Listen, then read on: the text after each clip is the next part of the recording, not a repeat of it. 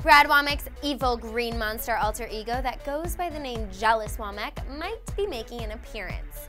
The former bachelor, who took a shot at love twice with a total of 50 girls, can you say greedy, told local station ABC 13 that he's happy his romance with Emily Maynard ended, saying, I think I dodged a bullet with that relationship.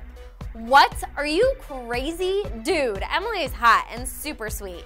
You're just mad she's not yours anymore.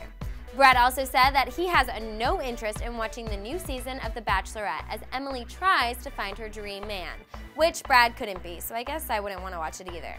At least Brad did say she's a hell of a woman and he hopes it works out for her. Brad is still single, surprise, surprise. Honestly, after dating Emily, I wouldn't want to date Brad either. How can you even try to compare to that? Emily's like a diamond, and every other girl would just be cubic zirconium. Womp womp. Okay, well, that was a stupid comparison, but whatever, you get what I'm saying. That's all for now. Keep checking back for more news throughout the day.